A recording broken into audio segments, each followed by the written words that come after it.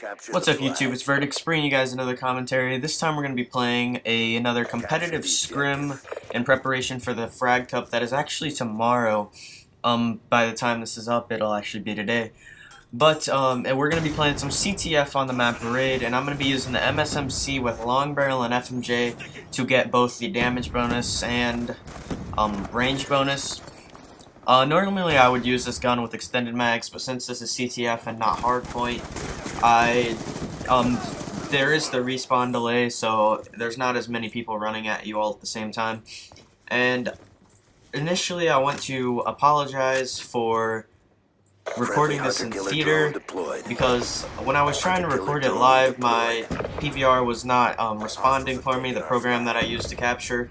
It wasn't responding, and right here I actually killed my teammate. I told him I was dropping the Hellstorm, he didn't listen. But the program I was using to capture was not responding when I was trying to record live, and I actually got a pretty good game, and I still wanted to upload it for you guys. And also, I'm recording the second round of this only, and not the entire game, because originally this is like an 11 minute game, and I didn't want to, um, I didn't want to upload all 11 10, 11 minutes because this is going to be a pretty short commentary. What I'm going to talk about isn't going to take that long. So today, what I do want to talk about is I want to build off of what I talked about in my last commentary, which is how to get started in competitive gaming. Um, in my last commentary, I left off by saying you um, once you get your team and you start, you should start playing variant. You should switch from playing S and D only or whatever you started at, unless you started in variant. And once you get pretty good at Variant, you should probably start playing in some online free tournaments. Like the Frag Cup that my team is playing in is a free tournament. It's hosted by 360 Icons. I'll leave the link to their website in the description if you're interested in playing in any of these tournaments. But this um, website hosts free tournaments all the time, so it's pretty easy to get into them. You don't have to um, you don't have to buy your way in or anything like that. And if you do pretty well in them, you'll still get a lot of recognition. So they're good for getting your name out there, and they're good for getting good for getting more known in the community.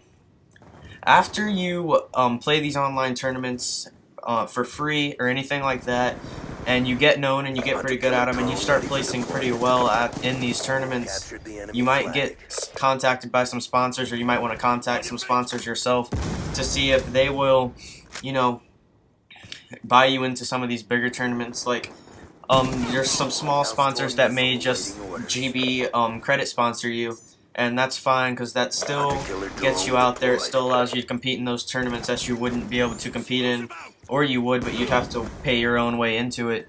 So if you can just get a credit sponsor, that's still awesome. You aren't wasting any of your money or spending any of your money, I wouldn't really consider it a waste because you're still getting that experience. But you're not spending any of your money to play in these tournaments. You're actually having someone sponsor you to do that for you. And once you get, um, once you play more of these tournaments, you'll get known and some bigger sponsors may want to talk to you about a sponsorship deal or partnership or anything like that. And when they start talking to you, they may be um, good enough a sponsor to even pay for you to travel to LAN events or bigger tournaments like that instead of just GB online tournaments and stuff like that.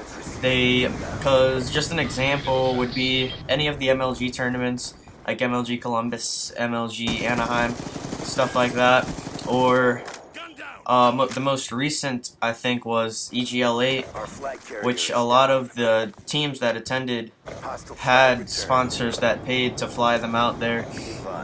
And that's, you probably aren't going to want to spend your money on that initial plane ticket to just to go to the tournament. That's not even a, you know, you're not even guaranteed to get your money back. Uh, so having a sponsor would be a pretty good idea for that. If you know some people that could already sponsor you, um, that'd be great. And once you get known, you'll start getting talked to by some sponsors most likely. And, you know, you'll be able to attend these larger tournaments. But that's all I got to say for today, guys. Maybe take these tips and, you know, get your team and start playing in some of these tournaments and get more known out there in the competitive community.